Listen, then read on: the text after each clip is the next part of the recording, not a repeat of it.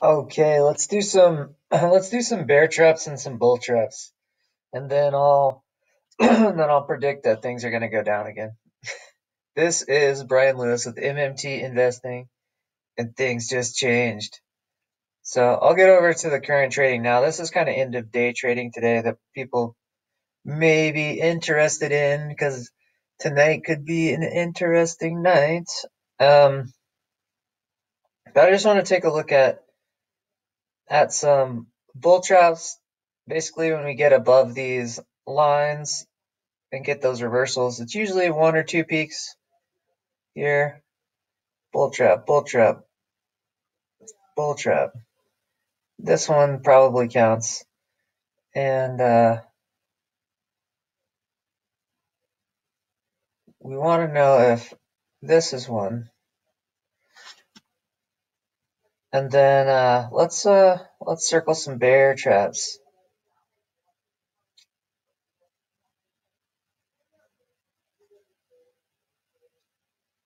So we get on our little tangent here, when we get across underneath the support line, we get a kind of rough one, and then we get the big W shape, which is uh, which is a classic bear trap shape.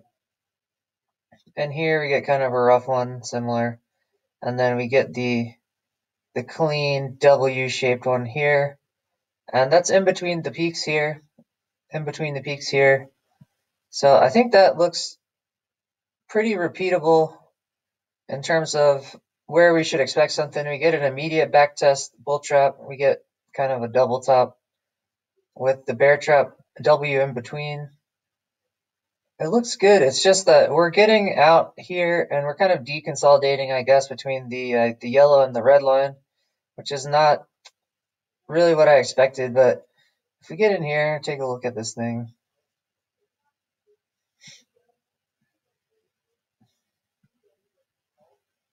I mean, they're just big candles. I mean, we we back test it and swing and back test.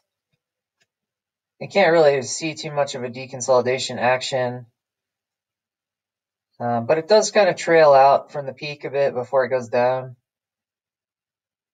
So I don't think we're outside of the scope of that, kind of just trailing down after the peak right now.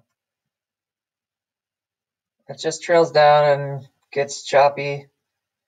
Trails down, gets choppy. I guess th this looks okay. This looks about the same.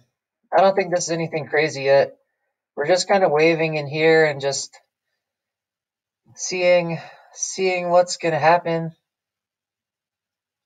And then I guess uh, let's scroll back and take a look at the long the long bull market lines here. And you can see this kind of shape. This W-shaped bear trap thing is very common. You get W. This one kind of maybe is W-ish. Um, this looks like a W bear trap, and that's that's the that's the most common shape really when you're getting below your uh, trend line. This one's tricky because we're kind of in between some lines, and then get back to this Volmageddon thing. Yeah, I don't know if that would count as a W, and we're not really. Oh, this line should be should be here, and I think that does count as a W. And we saw this um, we saw this a lot. If you go check out my Nasdaq.com bubble, there's really clear W bear traps all over the uh, the dot com charts, and I don't know where I'm going. This is the this is kind of the Volmageddon crash here, where we got into a steeper a steeper line. But I guess we could kind of look for in these bull traps. What do we get here? A cliff, a consolidation. Um, this looks like a W, bear trap between two peaks, and maybe a little W here. I don't know.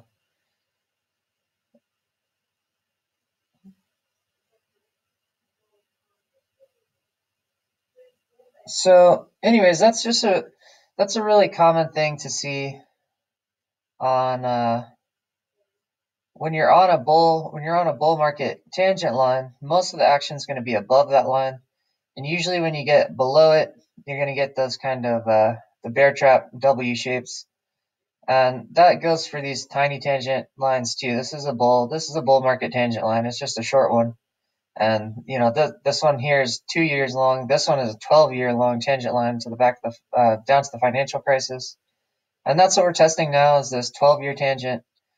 And what you see up here is uh, the end of this two-year tangent. We got this this last cross and this last consolidation. And then when you get this final consolidation, it terminates that tangent line and it finishes it. That's a two-year wave that's complete. And then you can get down to the next zone. And that's what we're looking for here to see if we complete our tangent line and then get down to wherever we're trying to go into the next area of the uh, of the credit contraction cycle. And so we have the combination of two incredible things going on at the same time here, which is very rare. It's something that you get uh, the top of a bubble in a credit contraction cycle, which generally the top of a bubble is a credit contraction cycle that blows off the top of the bubble, and you get these repeating kind of uh, shapes where you get the uh, ABC kind of Elliott wave, and then on the larger scale, ABC Elliott wave. And that's what we're looking for is here kind of the C wave off of this top. And it looks like we have about another month or a month and a half left to get some more uh, wave action before we get out of this cycle. And we'll see where we get to, and then we should get a we should get an expansion after this. And the low target, I guess, I mean, I guess it's possible to get all the way down to this, this other tangent line right now. It looks like about nine months of uh, inflationary expansion after this cycle, uh, from what I have right now. So I don't know if we could make it down to here. This is really far for one credit contraction cycle. Because if you see, we got from what 33, then we bounced up to 31, then we bounced up to 28. So, I mean, getting to 12 is is nutty. Um, but we've seen some big moves like that, like in the Nikkei, but not in just the one cycle though. I mean, those things take years, like a couple years to get down off the Nikkei bubble, or a couple years to get down off the Great Depression. And the smaller bubbles like Black Monday are are faster, you know. Um, but but even like dot com and financial crisis, it's not just one cycle off the top that reverses the whole bubble. Uh, the cycle on the top just breaks the bull market tangent line basically, and that's what we have here is the 12 year uh, kind of bull market line that we're trying to break off the top, and that's that's the credit cycle here that we have.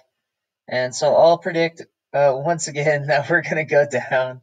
I mean, I've just been waiting for this thing to kind of uh, terminate and turn over, and maybe maybe it will this time. I don't know.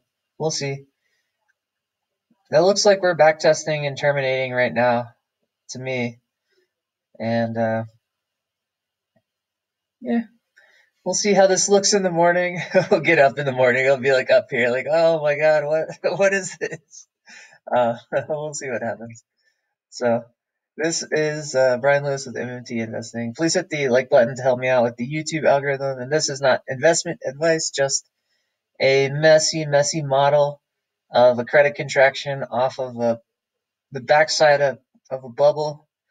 And uh, yeah, check out my other videos. I just put up a uh, I just put up a dot com video that does this same kind of analysis down the dot com bubble. I have a Nikkei bubble analysis, a Great Depression. Um, I have a financial crisis bubble. And these shapes are completely normal to get off the top of a bubble.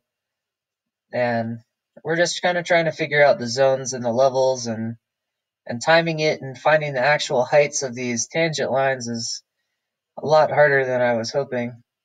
Um, it's it's really easy to draw a tangent line after it happens. You just go from the point backwards, but trying to go forward and find where it's going to be in advance is is pretty is pretty tough. So um, so I'll keep you I'll keep you updated. And I had a request for uh, a Shopify, so I'll do Shopify and probably Etsy now, and those those should be pretty cool.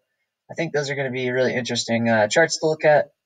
And if you guys want any kind of uh, video or reviews or questions, I had a couple questions on inflation, and um, so I just I just did a little thing about inflation, and uh, I guess the credit cycles. People want to know some more about credit cycles. Um, and that the credit cycle data mostly comes from uh, inflation data in different countries and and uh, like repo market rates and and the credit like kind of what loans are available through that the creditors, the housing creditors, and that sort of stuff. Um, there's a bunch of kind of random places you can check out what kind of loans are available, but the uh, the inflation data uh, from Hedgeye is really good, and you can kind of get quarterly uh, quarterly data, which the cycles don't really fall on quarters, but um, I don't think I can show I don't think I can show the Hedgeye charts on here because they're not uh, free. They're uh, a subscription to get the Hedgeye charts, and I don't think they would let me put them up here for free. Um, but I can just explain kind of what they have. I mean, they have like every sector and every country, and it's just quarterly data, and they just kind of track if you're going up or down in inflation. It's change of inflation and data, and uh, you can go to Hedgeye and check it out. I mean, they do show a lot of stuff for free, but I can't show that stuff on here. I don't think. And then uh, change of growth and change of inflation data, and they just map it out and they have they have data that uh, roughly can look out. I mean, like three quarters. Like I just got the last chart from them like two days ago, and uh, they've already got a projection out for for next year. So I mean, it looks like we have three uh, three cycles in a row coming up of inflation after this credit contraction cycle. It's like inflation upgrowth, inflation downgrowth, inflation upgrowth. So that to me sounds like a pretty good uh, longer term shape that's going to look something like this across like nine months or something that we could get after this cycle and we might be able to repeat this entire pattern uh, over the next nine months after the cycle so that would be really cool if this pattern holds up like through that kind of time length and uh, make it a lot easier to predict the backside of this bubble if it follows the pattern like that uh, we'll, we'll see what we get. And uh, don't be afraid to chat and ask me for whatever. Um, yeah, please like and subscribe. I, am going to do probably less videos uh, the next week and try to focus on trying to get more subscribers over the channel. Um, yeah, so if you could subscribe, I'm trying to get to a thousand subscribers. I mean, this this channel is pretty new, um, but in order to support this channel and keep it going, I'm gonna have to get the monetization amount of subscribers. And uh, that's what I'm going to be working on a little bit this week because I already have a I already have a ton of good videos. I'm not really running out of ideas, but I think I have enough videos to kind of focus on uh, trying to get some subscribers here and get the channel monetized. So uh, happy happy trading. This is not investment advice, and happy trading.